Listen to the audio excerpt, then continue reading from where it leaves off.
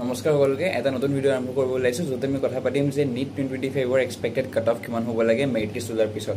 আমি merit list মই মানে মেৰিট লিষ্ট ওলোৱাৰ আগত এটা ভিডিঅ' উলিয়াইছিলোঁ মানে ৰিজাল্টৰ পিছত এটা ভিডিঅ' ৰিজাল্টৰ আগত এটা ভিডিঅ' তো ৰিজাল্টৰ পিছত ওলোৱা ভিডিঅ'টোৰ লগত এইবাৰৰ যোনটো মানে মেৰিট লিষ্ট ওলোৱাৰ পিছৰ যোনটো মই এক্সপেক্টেড কাট অফৰ ভিডিঅ' বনাই আছোঁ ইয়াৰ লগত নাইণ্টি ফাইভ পাৰ্চেণ্ট বহুত চিমিলাৰিটি আছে প্ৰায় একেই কাট অফহে ওলাইছে।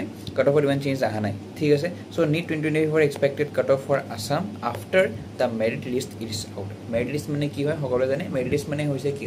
কেৱল অসমৰ ষ্টুডেণ্টৰ বাবে কোনজন ষ্টুডেণ্টে কিমান ৰেংকত আছে? অসমৰ ষ্টেট ৰেংকৰ কথা কৈছোঁ। কিমান ৰেংকত আছে? তাৰ এখন লিষ্ট ওলাই ডি এম ইৰ ফালৰ পৰা। সেই লিষ্টখনৰ পৰা বহুতখিনি গম পোৱা যায় যে অসমৰ ক্ষেত্ৰত কিমান হ'ব পাৰে। তাৰ বিষয়ে অলপমান কথা পাতিম। চ' এইবাৰ যোনখন মেৰিট লিষ্ট আহিছে তাৰে ফ্ৰণ্ট পেজত দুটা ইম্পৰ্টেণ্ট পইণ্ট লিখা আছে। ফাৰ্ষ্ট ইম্পৰ্টেণ্ট পইণ্টটো হৈছে কি যোনবোৰ ষ্টুডেণ্টে নিজৰ কেটেগৰী চেঞ্জ কৰিব বিচাৰিছে বহুত ষ্টুডেণ্ট এনেকুৱা আছে কি যেতিয়া নিজৰ ৰেজিষ্ট্ৰেশ্যন কৰিছিলে তেতিয়া তেওঁলোকে জেনেৰেল বুলি মানে জেনেৰেল তেওঁলোকে ফৰ্ম ফিল আপ কৰিছিলে। কিন্তু ৰেজিষ্ট্ৰেশ্যনৰ পিছত এতিয়া তেওঁলোকৰ হাতত অ' বি চি চাৰ্টিফিকেট এখন আছে বা এছ চি চাৰ্টিফিকেট এখন আছে বা ই ডাব্লিউ চাৰ্টিফিকেট এখন আছে আৰু তেওঁলোকে সেই চাৰ্টিফিকেটখনেৰে কাউন্সিলিং কৰিব বিচাৰিছে। তেনেধৰণৰ ষ্টুডেণ্টৰ বাবে যোনে চেঞ্জ কৰিব বিচাৰে তেওঁলোকৰ কেটেগৰী তেওঁলোকে কি কৰিব লাগিব? ছাপৰ্টিং ডকুমেণ্টছ লৈ গৈ পেলাই এঘাৰ জুলাইৰ আগত বা এঘাৰ জুলাইত অন অৰ বিফৰ এঘাৰ জুলাই পাৰ্টিকুলাৰ এটা জেগাত গৈ পেলাই ডকুমেণ্টখিনি জমা দিব লাগিব। আৰু এটা প্ৰেছক্ৰাইব ফৰ্মেট আছে যোনটো ডি এম ইৰ ৱেবছাইটত এভেইলেবল হ'ব। সেই ফৰ্মেটটো ফিল আপ কৰি লৈ যাব লাগিব। এইটো পষ্ট বা ইমেইলৰ থ্ৰুদি কৰিলে নহ'ব নট টু বি একচেপ্টেড এইটো খালী অফলাইন কৰিব লাগিব। ছেকেণ্ড পইণ্টটো হৈছে বহুত ষ্টুডেণ্টৰ তাত পি আৰ চি আছে কিন্তু তেওঁলোকে ক্লাছ ছেভেনৰ পৰা লৈ ক্লাছ টুৱেলভলৈকে অসমত পঢ়া নাই। এতিয়া তেওঁলোকে কাউন্সিলিং কৰিব বিচাৰিছে। এতিয়া যোনবোৰ ষ্টুডেণ্টে who studied class seven to twelve from outside Assam আছামৰ বাহিৰত যোনকেইজন ষ্টুডেণ্টে পঢ়িছিলে কিন্তু they are eligible as per clause three one C of the medical college and dental college of Assam amendment act তো ক্লজ ওৱান চিত কি কৈছে আগতে এইটো চাই লওক ক্লজ ওৱান চিত লিখা আছে যে যোনবোৰ ষ্টুডেণ্টে অসমৰ বাহিৰত পঢ়িছিলে কিন্তু পঢ়াৰ মেইন ৰিজনটো আছে যে তেওঁলোকৰ পেৰেণ্টছে এটা এনেকুৱা জব কৰে যোনটো চেণ্ট্ৰেল গভৰ্ণমেণ্ট জব বা আছাম ষ্টেট গভৰ্ণমেণ্ট জবৰ এমপ্লয় হয় তেওঁলোক তেনেধৰণৰ জবৰ কাৰণে এটা পাৰ্টিকুলাৰ ৰিলেক্সে ৰিলেক্সেশ্যন থাকিব। তেওঁলোকে কিছুমান চাৰ্টিফিকেট অফ এমপ্লয়মেণ্ট যদি দেখাব পাৰে তেনেহ'লে তেওঁলোক ষ্টুডেণ্টকো মানা যাব যে ঠিক আছে কিবা এটা ৰিজনত পেৰেণ্টছৰ কিবা এটা প্ৰব্লেমৰ বাবে তেওঁ অসমত পঢ়া নাছিলে বাহিৰৰ ষ্টেটত পঢ়িছিলে কিন্তু সেই পেৰেণ্টছজন অসমৰ এমপ্লয় নহ'লে চেণ্ট্ৰেল গভৰ্ণমেণ্টৰ এমপ্লয় হ'ব লাগিব। তো সেই ডকুমেণ্টখিনিও যি ডকুমেণ্ট লাগে যে এমপ্লয়মেণ্ট আছিলে সেই ডকুমেণ্টখিনিও এঘাৰ জুলাইৰ আগত বা এঘাৰ জুলাইত গৈ পেলাই জমা দিব লাগিব। ঠিক আছে? আচ্ছা এতিয়া কথাটো হ'ল এইখনটো ফাৰ্ষ্ট পেজত দিয়া আছিলে application form for category change in category ঠিক আছে? এইখন হৈছে মেৰিট লিষ্ট অসমৰ অসমৰ মেৰিট লিষ্টখনত এইবাৰ কিছুমান ইণ্টাৰেষ্টিং বস্তু দেখা পোৱা গৈছে। যেনেকৈ ফাৰ্ষ্ট ইণ্টাৰেষ্টিং বস্তুটো হৈছে যে ছশৰ ওপৰত কেৱল সাতজন ষ্টুডেণ্ট আছে। ছিক্স হাণ্ড্ৰেড মাৰ্কছৰ ওপৰত কেৱল সাতজন ষ্টুডেণ্ট আছে। তাৰপিছত ফাইভ ফিফটিৰ পৰা ছিক্স হাণ্ড্ৰেডৰ ভিতৰত এইটিজন ষ্টুডেণ্ট আছে মানে ছেভেণ্টি ছিক্সজন ষ্টুডেণ্ট আছে। ফাইভ হাণ্ড্ৰেড টু ফাইভ ফিফটিৰ ভিতৰত নিয়েৰলি ফ'ৰ হাণ্ড্ৰেড ষ্টুডেণ্ট আছে। আৰু ফ'ৰ ফিফটি টু ফাইভ হাণ্ড্ৰেডৰ ভিতৰত ওৱান থাউজেণ্ড থাৰ্টি ষ্টুডেণ্ট আছে। মানে পঞ্চাছ মাৰ্কৰ ভিতৰত পঞ্চাছ মাৰ্কৰ ভিতৰত এহেজাৰটা ষ্টুডেণ্ট আছে এহেজাৰটা ষ্টুডেণ্ট আছে মানে এটা এটা মাৰ্কত এটা এটা মাৰ্কত বিছটাকৈ ষ্টুডেণ্ট আছে ঠিক আছে? Four four fifty to five hundred যোনটো ইউজুৱেলি আমি প্ৰেডিক্ট কৰিছিলোঁ আগতে মই প্ৰেডিক্ট কৰিছিলোঁ আগতে যে তলৰ ফালে যেতিয়া আহি থাকিব ফ'ৰ ফিফটিৰ যেতিয়া ওচৰলৈ ওচৰলৈ আহি থাকিব তেতিয়া বহুত ডেন্স হৈ যাব এটা এটা মাৰ্কতে দহটাকৈ বিছটাকৈ ষ্টুডেণ্ট থাকিব। সেইটো বস্তু ইয়াত হোৱা দেখা পোৱা গৈছে। আৰু ফ'ৰ হাণ্ড্ৰেড টু ফ'ৰ ফিফটিৰ ভিতৰতো thirteen hundred eighty five student আছে। ত' definitely four hundred to five হাণ্ড্ৰেডৰ ভিতৰত বহুত সংখ্যক ষ্টুডেণ্ট আছে। এতিয়া কথাটো হ'ল যে কাট অফ যেতিয়া কোনোবা এজন ষ্টুডেণ্টে মানে কাট অফ যেতিয়া বনোৱা যায় যেতিয়া কাট অফ মানে প্ৰেডিক্ট কৰা যায় তেতিয়া বহুতকেইটা ফেক্টৰ যেতিয়া আহি পৰে। যেনেকৈ ছিট কিমান আছে কিমানকেইটা কোটা আছে এন আৰ আই কোটা এইবাৰ থাকিব নাথাকে গভৰ্ণমেণ্ট কোটা থাকিব নাথাকে যোনটো আছাম গভৰ্ণমেণ্ট কোটা এটা আছিলে ফাইভ পাৰ্চেণ্ট ছিটৰ সেইটো যোৱা বছৰ আছিলে এইবাৰ থাকিব এইবাৰ থাকিব এনেকৈ চিয়ৰিটি নাই মষ্ট প্ৰবলি থাকিব নালাগে। তাৰপিছত যোনটো এন আৰ আই কোটা সেইটো লাষ্ট টু লাষ্ট ইয়েৰ আছিলে মানে টুৱেণ্টি টুৱেণ্টি থ্ৰীত আছিলে টুৱেণ্টি টুৱেণ্টি ফ'ৰত নাছিলে এইবাৰ আহিব নাই সেইটো চিয়ৰিটি নাই। বাকী ছিট ইনক্ৰিজ হ'ব লাগে এশটা ছিট ইনক্ৰিজ হ'ব লাগে কাৰণ এইবাৰ প্ৰাগজ্যোতিষপুৰ মেডিকেল কলেজ এড হ'ব। ঠিক আছে। তো বহুতকেইটা ৰিজন আছে যাৰ বাবে কাট অফ অলপ ইফাল সিফাল হ'ব পাৰে। তাৰ বাহিৰেও এজন ষ্টুডেণ্টে নিজৰ কেটেগৰীৰ ষ্টুডেণ্টৰ মাজত কেনেকৈ কম পাৰফৰ্ম কৰিছে সেইটোও মেটাৰ কৰিব।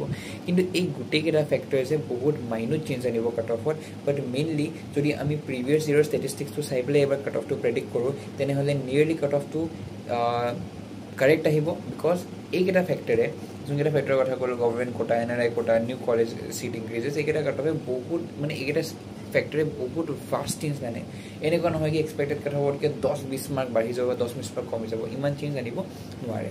ঠিক আছে? আহিব নালাগে সাধাৰণতে। তো আমি এনেকৈ এজিউম কৰোঁ যে nearly things remain same like previous years যদি প্ৰিভিয়াছ ইয়েৰ নিচিনা বস্তুবোৰ ছেইম মানা যায় এটা বস্তু ছেইম এইটো হয় যে লাষ্ট ইয়েৰ এখনেই কলেজ এড হৈছিলে আৰু এইবাৰো এখন কলেজেই এড হৈ আছে। তো এটা ভাল কথা যে নিয়াৰলি বস্তুবোৰ ছেইম ছেইম আছে।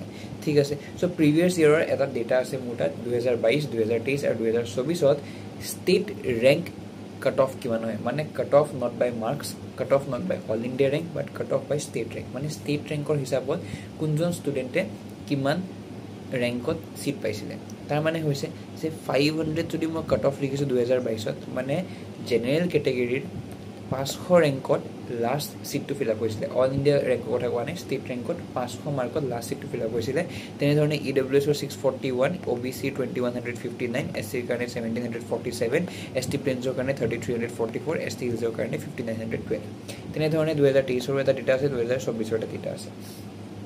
এতিয়া এই ডেটাটো চাই পেলাই এটা বস্তু গম পোৱা যায় যে দুহে দুহেজাৰ বাইছত পাঁচশ আছিলে লাষ্ট ছিট ফিল আপ হৈছিলে পাঁচশ ষ্টেট ৰেংকত দুহেজাৰ তেইছত সাতশ থাৰ্টি ফ'ৰত ফিল আপ হৈছিলে। মানে বেছি ষ্টুডেণ্টে এবাৰ ছিট পাইছিল জেনেৰেল কেটেগৰীত তাৰ মেইন ৰিজনটো কি আছিলে? তাৰ মেইন ৰিজনটো আছিলে যে ছিট ইনক্ৰিজ হৈছিলে। দুহেজাৰ তেইছত তিনিখন মেডিকেল কলেজ এড হৈছিলে Kokrajhar medical college Nalbari medical college আৰু নগাঁও মেডিকেল কলেজ। দুহেজাৰ তেইছত মানে তিনিশটা ছিট ইনক্ৰিজ হৈছিলে বাট দুহেজাৰ চৌবিছত মাত্ৰ এখন কলেজ এড হৈছে তিনিচুকীয়া মেডিকেল কলেজ এশটা ছিট ইনক্ৰিজ হৈছে। সেইকাৰণে চাব পাৰে যে তেইছ আৰু চৌবিছৰ মাজত কেটেগৰী কাট অফত মানে ষ্টেট ৰেংক কাট অফত ইমান চেঞ্জ অহা নাই যিমান বাইছ তেইছত আহিছে। আৰু এইবাৰো এখন কলেজে এড হ'ব লাগে। প্ৰাগজ্যোতিষপুৰ মেডিকেল কলেজ জেনেৰেল কেটেগৰীৰ কাৰণে দুহেজাৰ চৌবিছত আছিলে সাতশ বাৱন্ন ই ডব্লিউ এছৰ কাৰণে seven eighty nine O' B চিৰ কাৰণে twenty six hundred forty four S চিৰ কাৰণে twenty seven hundred eight S T প্লেন্সৰ কাৰণে thirty nine hundred eighty one আৰু এছ টি হিলছৰ কাৰণে sixty four hundred forty four এইকেইটা হৈছে ষ্টেট ৰেংক য'ত লাষ্ট ছিটটো ফিল আপ হৈছিলে। ঠিক আছে? আৰু টুৱেণ্টি টুৱেণ্টি ফাইভৰ এক্সপেক্টেড ৰেংক এটা মই বনাইছোঁ। কিন্তু এই ৰেংকটো পূৰা হ'ব পাৰে আৰু নহ'ব পাৰে। বিকজ ষ্টেট ৰেংক ষ্টেট ৰেংকৰ কাট অফটো একজেক্ট প্ৰেডিক্ট কৰাটো বহুত টান বিকজ কাট অফ বহুত বেছি চেঞ্জ হ'ব পাৰে। যেনেধৰণে যেনেকৈ এছ টি প্লেন্সৰ কাৰণে থাৰ্টি থ্ৰী হাণ্ড্ৰেড আছিলে but next year thirty nine hundred হৈ গ'ল। তাৰ নেক্সট ইয়েৰ মাত্ৰ থাৰ্টি নাইন হাণ্ড্ৰেডে হৈছে মাত্ৰ ষাঠিটা ৰেংক পিছুৱাই গৈছে। তো সেইকাৰণে একজেক্ট কাট অফ প্ৰেডিক্ট কৰা টান আছে। কিন্তু আমি এটা ছেফ স্ক'ৰ প্ৰেডিক্ট কৰিব পাৰোঁ যাতে ষ্টুডেণ্টবোৰে গম পায় যে আচ্ছা মই ছেফ স্ক'ৰত আছোঁ নে মই বৰ্ডাৰ লাইন আছোঁ নে মোৰ চান্স একেবাৰে নাই। ঠিক আছে? এটা ছেফ স্ক'ৰ প্ৰেডিক্ট কৰিলে কি হ'ব? মানুহবোৰ ৰেডি হ'ব পাৰিব যে কাউন্সেলিং কৰোঁ নে নকৰোঁ বা কি ধৰণে এতিয়া এপ্ৰ'চ কৰিব লাগিব। তো এটা ছেফ স্ক'ৰৰ আইডিয়া দিওঁ যে ছেফ স্ক'ৰ কিমান হ'ব লাগে কিমান মাৰ্কছৰ ওপৰত পাই আছে যদি তুমি হাণ্ড্ৰেড পাৰ্চেণ্ট চিয়'ৰ হয় আৰু কিমান মাৰ্কছৰ ওচৰা ওচৰি আছে যদি লাইনত আছা। ঠিক আছে? যদি এইটো ট্ৰেণ্ডে চলে যদি এইটো ট্ৰেণ্ডে চলে আৰু যদি আনৰিজাৰ্ভৰ কাৰণে সঁচাকৈ ছেভেন ফিফটি টু আহিছিলে আৰু এইবাৰ যদি তাতকৈ অলপ বাঢ়ি পেলাই এইট হাণ্ড্ৰেডো হয়গৈ তেনেহ'লে ছেফ স্ক'ৰ কিমান হ'ব পাৰে সেইটো এটা কথা পাতি ল'ম। তো এইটো হৈছে নিট টুৱেণ্টি টুৱেণ্টি ফাইভৰ expected cut off NEET twenty twenty ফাইভৰ এক্সপেক্টেড কাট অফ এইটো হ'ব লাগে অসমৰ কাৰণে আনৰিজাৰ্ভৰ কাৰণে ৰেংকটো মন নিদিব ইমান ৰেংকটো নিমিলিব পাৰে বিকজ ৰেংক প্ৰেডিক্ট কৰাটো বহুত টান কাট অফৰ ৰেংক প্ৰেডিক্ট বহুত টান কিন্তু মাৰ্কছ মষ্ট প্ৰবলি এইটো হ'ব লাগে আনৰিজাৰ্ভৰ কাৰণে for eighty three plus E W এছৰ কাৰণে for eighty one plus O' B চিৰ কাৰণে for zero' seven plus S চিৰ কাৰণে for zero' three plus S T প্লেন্সৰ কাৰণে থ্ৰী ছিক্সটি ছিক্স প্লাছ আৰু এছ টি হিলছৰ কাৰণে থ্ৰী জিৰ' ওৱান প্লাছ তাৰমানে কি? যে তুমি যদি এই মাৰ্কটোতকৈ বেছি পাই আছা তেনেহ'লে তুমি চিয়ৰিটি আছে যে তোমাৰ চিলেকশ্যন হ'ব কাউন্সেলিং কৰা ভালকৈ আৰু চিট পাবা তুমি। বাট তোমাৰ মাৰ্কছ যদি ইয়াতকৈ অলপ কম আছে মানে বৰ্ডাৰ আছে বা এনেকুৱা নহয় এতিয়া যেনেকৈ জেনেৰেল জেনেৰেলৰ কাৰণে ফ'ৰ এইটি থ্ৰী মই প্লাছ কৰিছোঁ ছেভ স্ক'ৰ তো তুমি যদি ফ'ৰ এইটি পাই আছা বা ফ'ৰ ছেভেণ্টি নাইন পাই আছা তাৰমানে এইটো নেকি যে তোমাৰ চিলেকশ্যন নহয় এনেকুৱা নহয়। চিলেকশ্যন তেতিয়াও হ'ব পাৰে বিকজ কাট অফ বহুতকেইটা ফেক্টৰ ডিপেণ্ড কৰে। কাট অফ বহুতকেইটা মেজৰ ফেক্টৰৰ ওপৰত ডিপেণ্ড কৰিব যেনেকৈ তুমি নিজৰ কেটেগৰীৰ মাজত কেনেকুৱা কৰি আছা এইবাৰ কি কি কোটা আছে এন আৰ আই আহিব এন আৰ আই কোটা আহিব নেকি নতুন কলেজখন এড হ'ব নে নহয় গভৰ্ণমেণ্ট কোটা আছে নেকি তেনেধৰণৰ বহুতকেইটা ফেক্টৰ আছে যাৰ কাৰণে কাট অফত চেঞ্জ আহিব পাৰে। কিন্তু এইটো যোনটো স্ক'ৰ হয় এই যোনটো স্ক'ৰ দেখিছোঁ এইটো যে ছেফ স্ক'ৰ বাট যদি ইয়াতকৈ বেছি কম আহি আছে বোলে ইয়াতকৈ তোমাৰ দহ পোন্ধৰ মাৰ্ক কম আহি আছে ইয়াতকৈ বিছ মাৰ্ক কম আহিছে তেনেহ'লে প্লিজ কিবা এটা অল্টাৰনেটিভ ভাবা বেলেগ প্লেন ভাবা বেলেগ কৰ্চৰ কথা ভাবা ষ্টাৰ্ট কৰি দিয়া। ঠিক আছে বাট যদি ইয়াতকৈ মাত্ৰ পাঁচ মাৰ্কে কম আহিছে ইয়াতকৈ ছয় সাত মাৰ্ক কম আহিছে তেনেহ'লে প্লিজ বৰ্ডাৰ লাইন হয় কাউন্সেলিং কৰিবা। লাষ্ট ৰাউণ্ডতে কাউন্সেলিং কৰিবা চিলেকশ্যন হ'ব পাৰে। বাট তোমালোকে বেলেগ অপশ্যনো ভাবি থাকিব লগে লগে। ঠিক আছে? নেক্সট পইণ্টটো হৈছে যে অবভিয়াছলি বহুত ষ্টুডেণ্টে এতিয়ালৈকে কাট অফ উলিয়ালেই ভাবিলেও যে এইটো মোৰ কাট অফ হয় মোৰ চিলেকশ্যন হৈ যাব কিন্তু তেওঁলোকে নাজানে যে কোনখন কলেজৰ চিলেকশ্যন হ'ব চ' ছিট পোৱাৰ লগতে নিজৰ কলেজখন জনাটো বৰ দৰকাৰী বা যোনখন কলেজত ছিট পাবা সেইটো ইম্পৰ্টেণ্ট হয়। তো সেইকাৰণে কলেজ ৱাইজ কাট অফ বহুত ষ্টুডেণ্টে বিচাৰি আছিলে বহুত টাইমৰ পৰা চ' এটা কলেজ ৱাইজ কাট অফ উলিয়াম আৰু লগতে এটা perfect proper detail seat matrix উলিয়াম অসমৰ কাৰণে যে কিমান ছিট আছে কিমান কেটেগৰী যায় কিমান পাৰ্চেণ্টেজ মানে কোটা থাকিব সেইখিনি গোটেইখিনি কথা পাতিম। ঠিক আছে বাকী যোনবোৰ ষ্টুডেণ্ট এতিয়া প্ৰিপেৰেশ্যন কৰি আছে নিট টুৱেণ্টি টুৱেণ্টি ছিক্সৰ কাৰণে টুৱেণ্টি টুৱেণ্টি ছেভেনৰ কাৰণে কিন্তু ষ্টাৰ্ট কৰা নাই এতিয়ালৈকে যে ষ্টাৰ্ট কৰিম কৰিমকৈ আছে তেওঁলোকৰ বাবে ক'ব বিচাৰিছোঁ যে journey of miles begin with one step take that step today যদি তোমালোকে ভাবিছা যে বহুত দীঘল ৰাস্তা আছে মই কৰিম লাহে লাহে ষ্টাৰ্ট কৰিম তেনেহ'লে এটা কথা মনত ৰাখিবা ডাঙৰ জাৰ্ণি এটা ষ্টাৰ্ট কৰিবৰ কাৰণে প্ৰথমতে এটা খোজ দিবই লাগিব চ' প্লিজ সেই খোজটো দিয়া আৰম্ভ কৰা এটলিষ্ট তোমালোকৰ প্ৰিপেৰেশ্যন কাৰণ এই কাউন্সিলিঙৰ ভিডিঅ' চাই বা সময় নষ্ট কৰি লাভ নাই এতিয়াৰ পৰা পঢ়া ষ্টাৰ্ট কৰা ইয়াতে এই চেনেলটোত মই গাইডেঞ্চৰ ভিডিঅ' টুৱেণ্টি ছিক্সৰ কাৰণে টুৱেণ্টি ছেভেনৰ কাৰণে আনি থাকিম মই কেনেদৰে পঢ়িছিলোঁ কি বুকছ ফ'ল' কৰিছিলোঁ কি বুক ফ'ল' কৰিব লাগে গোটেইখিনি কথা ইন ডিটেইল ইয়াতে পতা হ'ব।